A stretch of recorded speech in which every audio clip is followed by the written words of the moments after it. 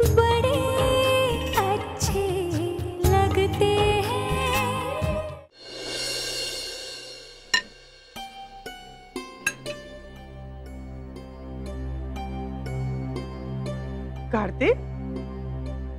बेटा क्या बात? है कुछ खा नहीं रहा? है आज तो तेरी पसंद का खाना बनाया है मैंने अपने हाथों से। अच्छा नहीं बनाया क्या? नहीं माँ ऐसी कोई बात नहीं है। खाना तो बहुत अच्छा बना। फिर क्या प्रॉब्लम है बेटे? हाँ? ये ऑफ़िस में कुछ स्ट्रेस है क्या? नहीं पापा वहाँ भी सब कुछ ठीक है। हम्म। अच्छा बेटे वो आज सुबह मेरी बिल्डिंग के सेक्रेटरी से मुलाकात हुई थी। वो कह रहे थे कि बिल्डिंग की कुछ मरम्मत करवानी है उसके लिए कुछ एक्स्ट्रा फंड्स की ज़रूरत होगी। हो सकता है कि पर हाउस हमें कुछ पैसे कंट्रीब्यूट करना पड़े। मैंने कहा ठीक है। कुछ समय बाद, एक दो महीने बाद मेरे बेटे कार्तिक का प्रमोशन होने वाला है। तो शायद उसके बाद हम कुछ पैसे स्पेयर कर पाएँ। बस ज़रा थोड़ी सी मोहलत दे दीजिए। अच्छी बात यह है कि वो इसके लिए तैयार भी हो गए। पापा, मैं आप सभी से कुछ कहना चाहता हूँ। ये सच है कि इस साल मुझे प्रमोशन मिलने वाला था और मैंने उसके लिए मेहनत भी बहुत की थी। लेकिन एन वक्त पर मैंने अपना क्लेम छोड़ दिया। एक्चुअली माँ, मेरा एक कलीग है, परेश। पिछले कुछ दिनों से उसके घर के हालात बहुत खराब है। और हाल ही में उसका बेटा भी हुआ है। तो ज़ाहिर सी बात है कि उसकी जिम्मेदारियाँ कई गुना बढ़ गई हैं और उसे मुझसे कहीं ज़्यादा स्टेबिलिटी और पैसे की ज़रूरत है। इसलिए मैंने अपना प्रमोशन उसे दिलवा दिया। और माँ, आप तो जानती हैं एक बच्चे की परवरिश करना आसान नहीं होता। और इसलिए मैं और नताशा अभी बच्चे के बारे में सोच भी नहीं रहे है। ना नताशा? और पापा, मैंने तय किया है कि जब मैं अपने आप को बच्चों की ज़िम्मेदारी उठाने के काबिल बनाऊँगा, तभी इस मामले में आगे बढ़ूँगा। तूने बिल्कुल ठीक सोचा है बेटे। प्रमोशन के मामले में भी तेरा डिसीज़न हंड्रेड परसेंट सही है। और ये जहाँ तक सोसाइटी के रिपेयरिंग फंड का सवाल है तो ये पैसे हम कहीं ना कहीं से जुटा ही लेंगे। क्यों जी?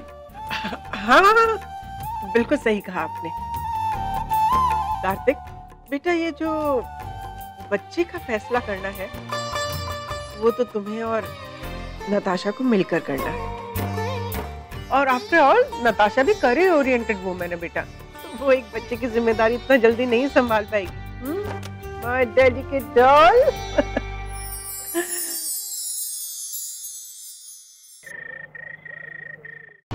प्रिया को कहीं भी अकेले छोड़ने में रिस्क तो हो सकता है। एक तो वो खुद डर जाती है और दूसरा वो अपेक्षा वाला मामला। उस लड़की का तो कोई भरोसा नहीं कर सकते। कभी भी प्रिया के सामने आ सकती हो।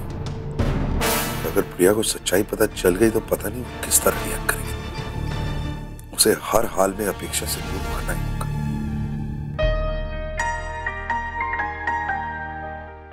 मिस्टर कपूर? हाँ। आज आप बहुत थक गए ना? मैं ना आपको अभी टैबलेट दे देती हूँ। टैबलेट खा लीजिए आपके पैरों का दर्द कम हो जाएगा। है?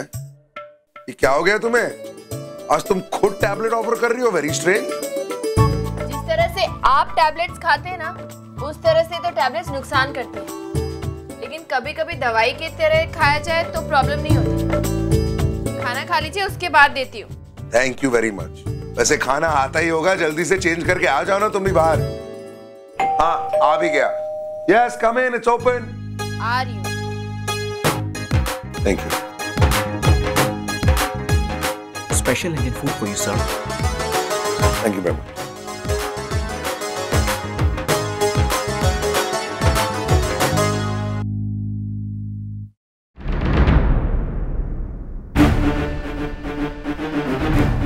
Especially for you, I know you will like it. ये ऑस्ट्रेलिया में ऐसा इंडियन खाना कौन भिजवा सकता है अपेक्षा ने तो नहीं की Uh, yeah, yes, it's open. sorry, sir. By mistake, wrong food has been delivered to you. Oh, uh, uh, is, is that our food? Yes, sir. Uh, okay, just leave it there. You can. Yes, sir.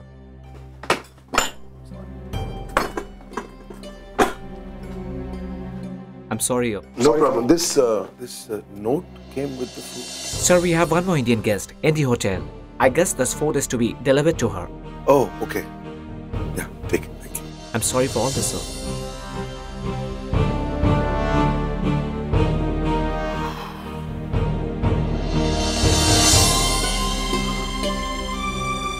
चलो भाई खाना आ गया है